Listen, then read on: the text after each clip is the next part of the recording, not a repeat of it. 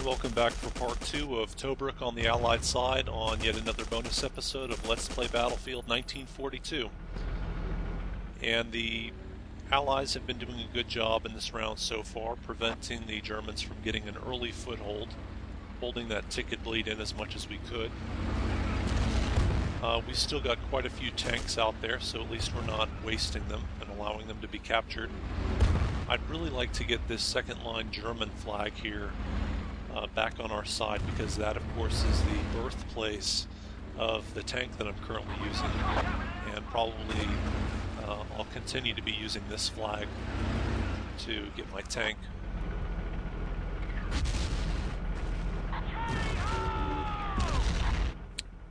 Maybe some... It'd be nice to capture that German tank there that's smoking, but the moment uh, I've got a lot of work to do. I can't really switch out my tanks. Really want to get both of these second flags, second line flags here, uh, turned over. In fact, man, well, there's a German sniper in there.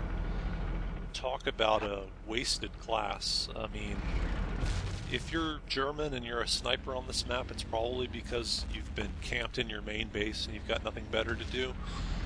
But really, uh, spawning here as a sniper on the German side makes almost zero sense. Everyone's going to be running around in every direction, not too many allied snipers either, so not much prey for the sniper.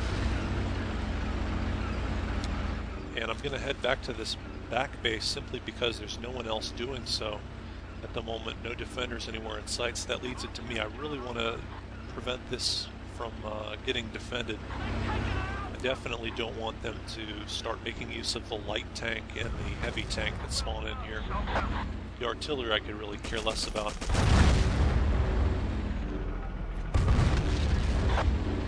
It's also useful to retake this flag as quickly as possible just to let the rest of the people on your team know that where did that guy even come from? I didn't see him earlier. And there's another guy. I don't think they were spawning in, but uh, Maybe it was just after I turned away.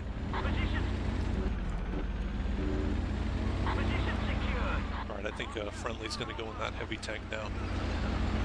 But uh, anyways, it's important to retake that flag as quickly as possible to send a message to your team that they don't all need to head over there. Because otherwise you'll get virtually all the British on your team going to the back base, which leaves everything else undefended. And uh, then you'll be stuck in your back base. And you definitely don't want to be stuck with your back base as the only flag you've got left because it has such a large capture radius, which means it's very difficult for the enemy to neutralize it. And of course, once your only flag has been neutralized, you've got no more spawn points. So that's one of the weird paradoxes about the game, is that if you've only got one flag left, sometimes it's a good idea for for that flag to be a, a small one, simply because uh, you're guaranteed to be able to at least hold on to that small capture radius and uh, continue to spawn in.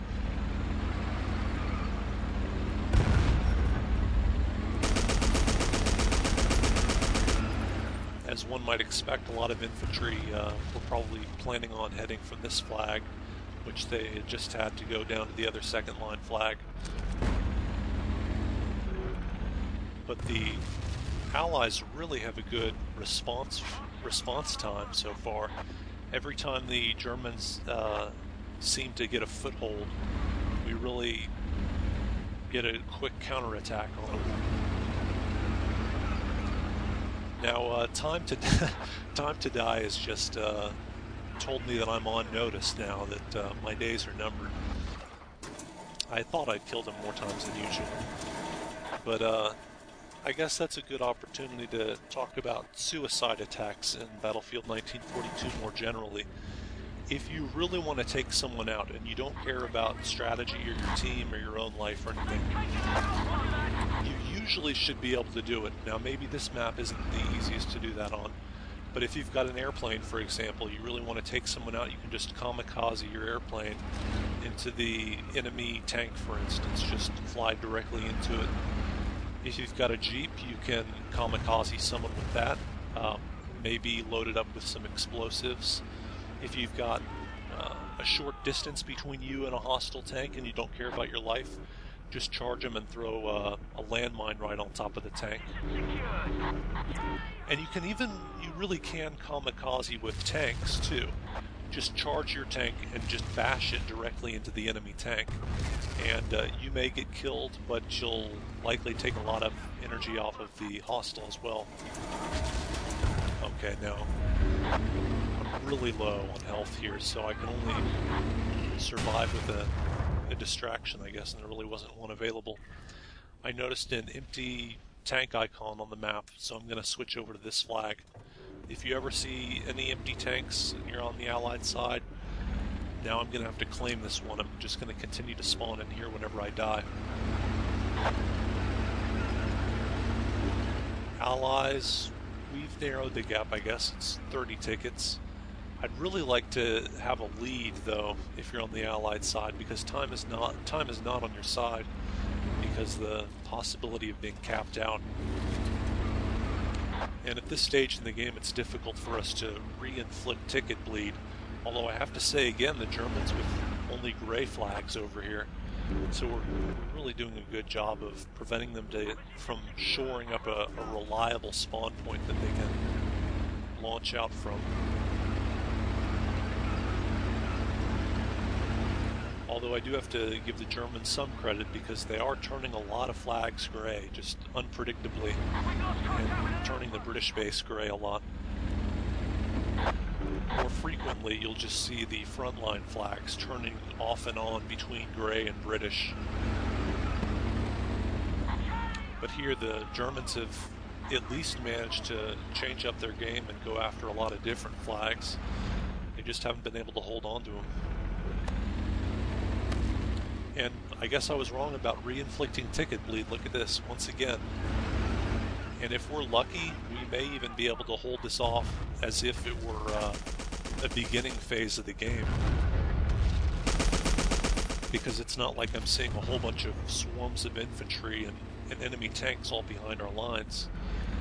So they're probably all going to have to start once again, square one at their main base. And uh, if that happens, we can all, all the allies can just circle around the front line once again.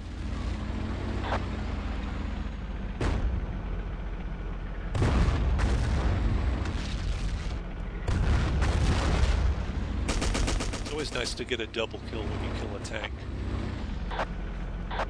Not too not too common though, because people tend to jump out of a damaged tank if they're in the mounted machine gun position.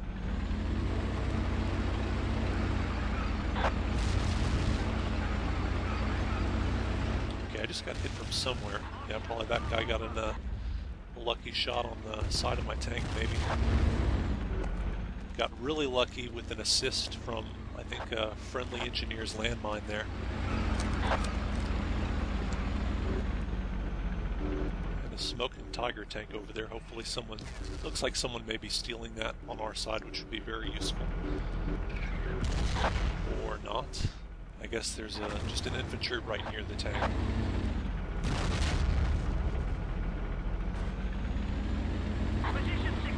And again, that would be a great opportunity to repair and steal a tank, but with that flag gray and with my tank damaged, I really just didn't have the security to do that. More important to camp in this flag over here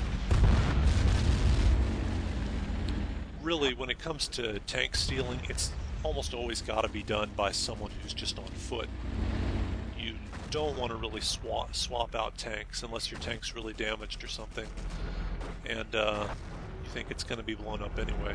But if you're an engineer, you spawned in and you don't have a tank, always be on the lookout for damaged tanks that you can claim as your own.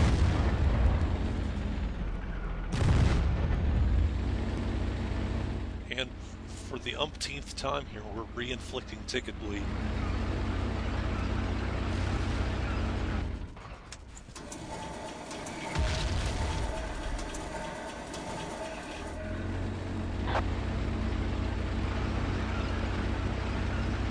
Not sure where that was coming from, once again.